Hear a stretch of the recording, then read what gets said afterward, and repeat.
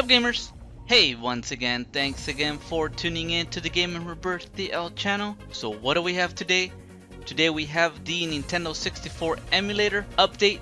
Now this is the most recent update for version 1.13. This is called Dad Dallas X64. Okay, so we go to Games and Consoles article which has the information that was released on August 22nd now the developer Z2442 has released a new update of the Nintendo 64 emulator version 1.13. It has been a long time since a stable update of this emulator for the PSP and the PlayStation Vita, but now some features that include accurate but fast emulation, high compatibility, active maintenance, which is good, many experimental optimizations, and more, which is awesome. They just keep on doing a great job. For the changelog, further improvements to the code optimization including more efficient mathematical system and faster code for the media engine lead to further performance and improvements.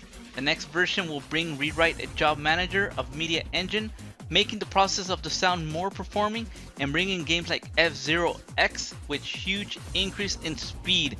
This is crazy, this is incredible keep working at it guys. Thank you for for working on this. Now what we will go ahead and do is download the EBOOT PBP and then we're going to drop it in our Nintendo 64 emulator folder so that we can rewrite the old one. Or you can go to the github where you can get the additional information for this emulator. I'll go ahead and leave that link in the description. On the releases you can keep track of what's going on with this emulator which is pretty cool. So that's all that we need. We just need the EBOOT PBP so we're going to get it ready for our PlayStation Vita. Now if you are wondering where to get the actual files for the Nintendo 64 emulator you can go to my Twitter.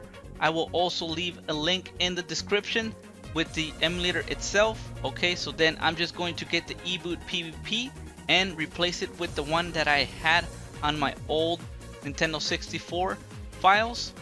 Now remember to include your ROMs and then you just drop it in the ROM folder. That's simply it. And then we're just going to connect our PlayStation Vita to the PC via VitaShell when we press select. Okay, so now we have our PlayStation Vita connected to the PC so we're going to go to PSP EMU and then we're going to go to the folder named PSP and after that we're going to select the game folder. And you guys can see that I had already transferred it previously. So since I have all my files in that folder so I'm just going to replace the EBOOT PBP by just copying and pasting or dragging it and that's simply it. For you guys you probably are going to transfer the whole folder to the game folder inside and then that's it. Remember to include your ROMs. So we move on to the PlayStation Vita. Okay so now you guys can see that I don't have a bubble.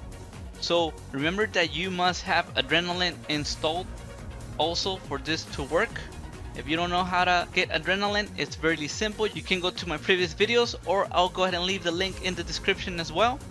Now I love this tool, the Adrenaline Bubbles Manager, so that I can create my bubble.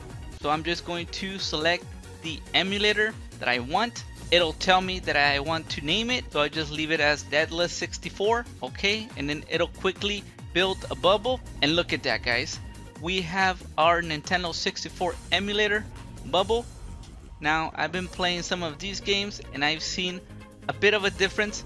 Now the loading it might take like maybe 5 to 10 seconds to load the menu and then after you're selecting a game you guys can see I like the images of the game which is pretty cool.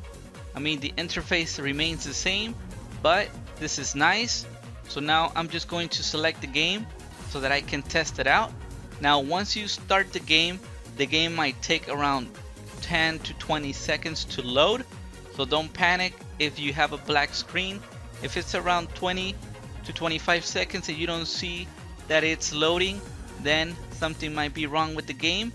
But for now it just takes like around 25 seconds to load the game. And you guys can see that it is working. If you press the PS button it'll give you the menu options you can edit the preferences and more information.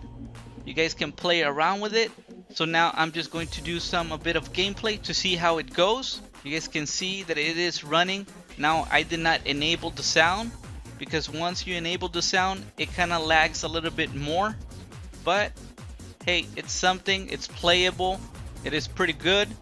So guys go get that Nintendo 64 or follow the developer which he is working hard to update this Nintendo 64 emulator. So if this helped remember to hit like subscribe comment share with your friends. As always Gamer Rebirth out